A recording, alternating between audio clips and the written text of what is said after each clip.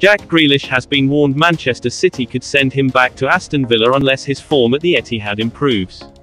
The England international, 26, was quiet as the Premier League champions were beaten 3-1 by Liverpool in the Community Shield on Saturday.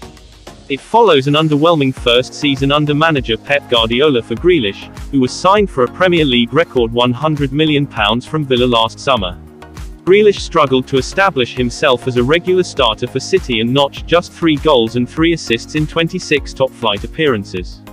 While Guardiola has continued to defend the forward's form, ex-Villa striker Tony Cascarino insists Grealish's price tag means City will not settle anything less than excellence from the £100 million man. Cascarino told TalkSport, at the end of the season, if he doesn't pick up his standards, what we know he's capable of and why they paid £100 million for him, he'll probably be loaned out or he might end up back at Villa. He's not playing well enough consistently for Man City.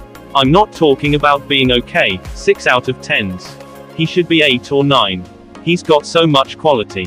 Cascarino added, Jack has got an issue. You can't be a 100 million pounds player and be okay, your standard is higher than that. City's standard is higher than that and he has been 6 out of 10 too often.